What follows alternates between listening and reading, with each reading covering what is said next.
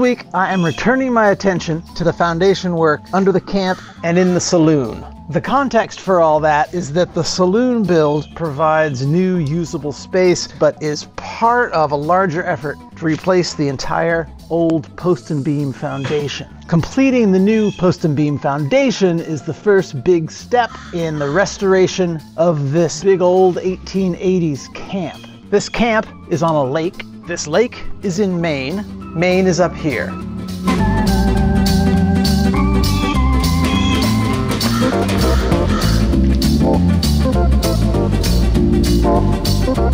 While we're working in the saloon, let's have a ledge update.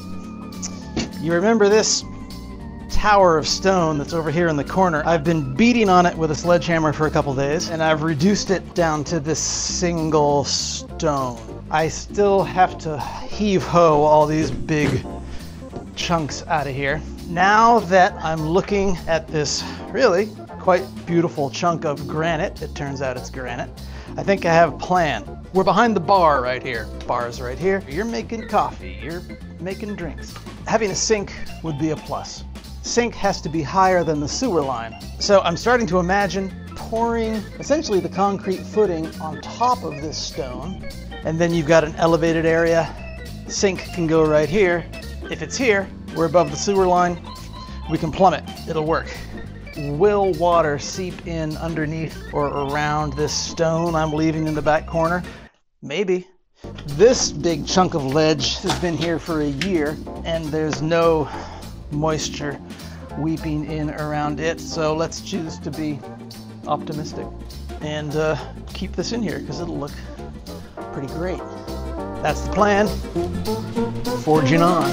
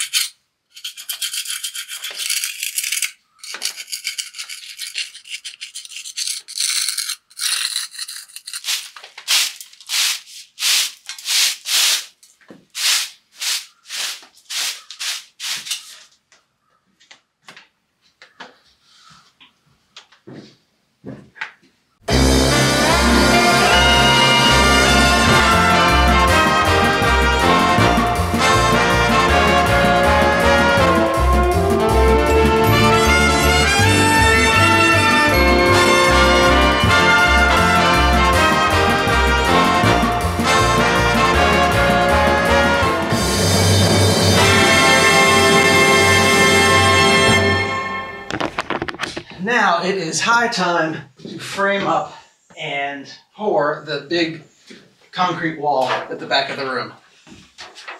I wouldn't say that I've been putting it off for two months, but I have been strategically doing other things for two months.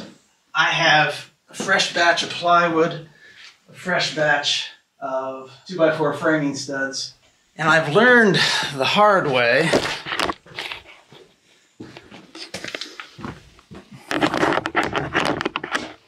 how remarkably powerful the weight and mass of concrete is inside these forms. So I'm going to engineer this one in such a way that the pour is a little less stressful, beginning with mounting some blocks to the footing which the back of this wall will press against.